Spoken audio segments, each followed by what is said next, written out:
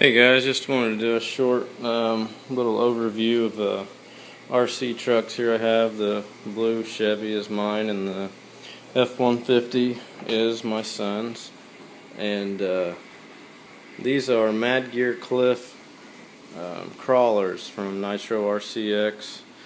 Um, we're just getting into the hobby so it's something that I wanted to start out reasonably cheap. Um, these are great crawlers. We haven't had any issues out of either one of them. Um, you know, for $120, they're they're really hard to beat. We've had them since last spring, and uh, haven't really had any issues at all with them. Um, I've done quite a few modifications to them though, right out of the gate. Um, we didn't. They come with a bug body on them. Um, we weren't weren't big fans of that, and we want more of a scale look.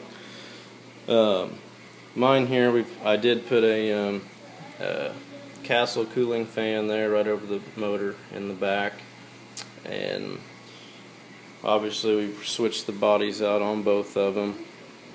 Um, I did change out the motors. They come with a um, 70 turn um, can motor in them which is just not enough wheel spin at all. You know, we're going for more of a trail truck than we are a um, hardcore crawling truck. Um, pop, pop the body off here real quick. Um, I did have to build some frame rails um, on these to mount the Proline bodies on. Um, basically just took the all the electronics off of the top of the chassis. And um, it's been snowing quite a bit here in Indiana this so far this winter. So uh, we wanted to play in the snow. So I just did this yesterday. Um, watertight uh, Plano box Walmart like four dollars um, I took it and uh, mounted all of our electronics inside. And then uh, just ran all your wires right out the side there as you can see and siliconed that up real well um, that was seems to do the trick. I've had it packed full of snow several times now, no issues, and just uh, took a small thing of silicone over the servo there, and then just packed grease, uh, marine grease around. Uh, you know all your other orifices there, holes in your in your servo.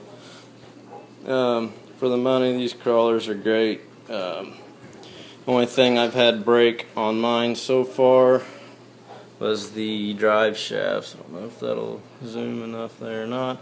Um, the drive shafts are plastic, and uh, right at the metal pin gear right here, um, the plastic just wallered out and uh, and did break there, but that was an easy fix. I think I bought two sets, Nitro RCX for five dollars. Um, great trucks overall, though, easy to work on.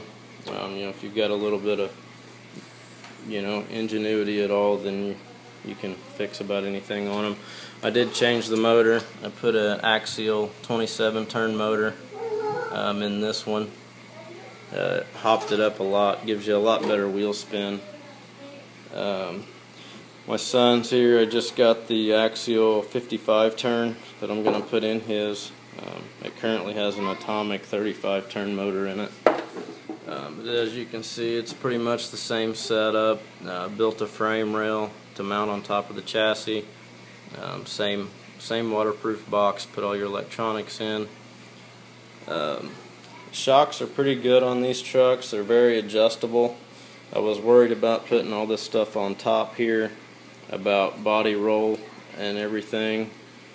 But um, with these adjustable big heavy duty shocks, um, you can take all the body roll out and still have a still have a nice soft suspension without worrying about it a whole lot. Um, I did um, replace all the shock oil um, right as soon as we got them. Pretty much replaced them with a hundred weight shock oil, um, Traxxas I believe, and it seems to be doing the job real well. Um, I did put me a couple lights here in the front of my Chevy Buddy um, yesterday, as a matter of fact, and a small bumper there on the front, trying to scale it out as much as I can. Um, I do have my fan, Castle fan, unhooked right now because of running in the snow and stuff. I just didn't want a chance tearing anything up. Um, but yeah, all in all, great trucks. I would definitely recommend them. I mean, you can't really go wrong for $120. Um, you know, for a, a good budget build for something. You know, for somebody just getting into the hobby like myself and my son. Um, but yeah, they're a whole lot of fun and uh, good durable trucks. He he beats the tar out of this one. He's only six years old, so uh, highly recommend him. So thanks for watching.